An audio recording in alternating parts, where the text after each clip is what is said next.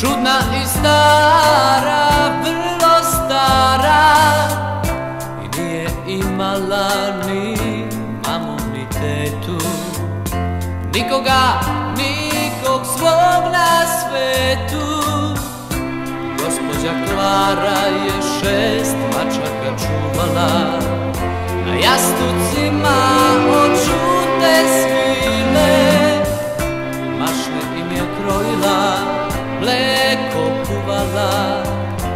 Pa su site i srećne bile Belih mačaka šest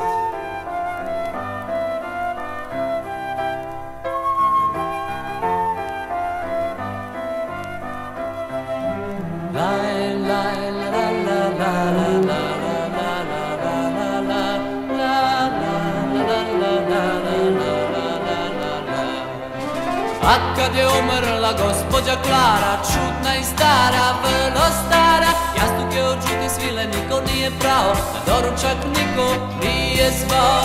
A kad je umrla gospođa Klara, čudna i stara, vrlo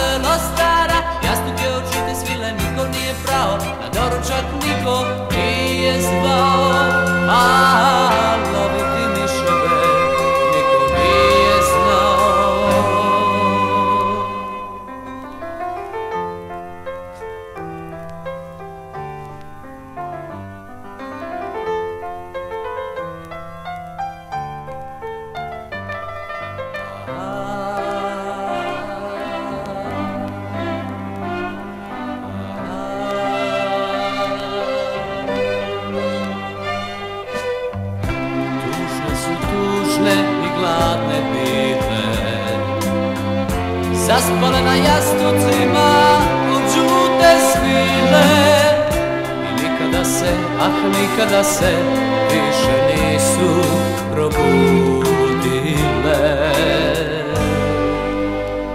Belih mačaka šest